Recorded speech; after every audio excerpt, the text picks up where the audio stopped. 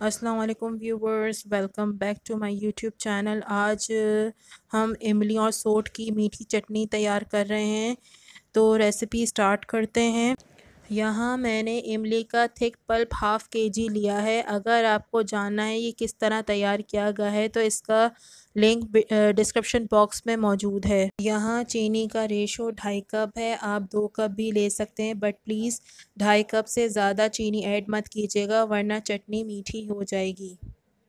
یہاں میں نے نمک پیسی لال مرچیں، سونٹ اور چاٹ مسالہ لیا ہے۔ اب ایک پاٹ میں املی کا پلپ ڈال دیں، ساتھ ہی اس میں ون کپ پانی شامل کریں اور اسے میڈیم آنچ پر پکنے دیں۔ جب تک اس میں ابال آتا ہے، تب تک ہم اس میں چینی اور دوسرے خشک مسالہ جات شامل کر دیتے ہیں۔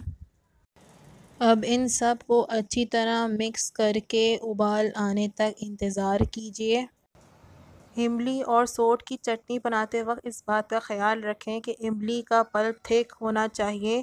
اگر املی کا پلپ تھک نہ ہوا تو پھر پانی مٹ ایڈ کیجیے گا۔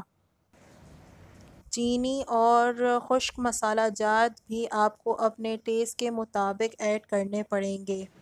جب تک میری چٹنی میں بوائل آتا ہے تب تک آپ میرے چینل کو سبسکرائب کیجیے۔ ریڈ بٹن پر کلک کر کے and press the bell icon also.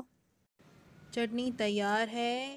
آپ دیکھ سکتے ہیں اس کی کنسسٹنسی تھوڑی رنی فارم میں ہے۔ ٹھنڈی ہونے کے بعد تھوڑی تھک ہو جائے گی۔ اگر نہ ہو تو آپ مزید پکائیے دو تین منٹ کے لیے۔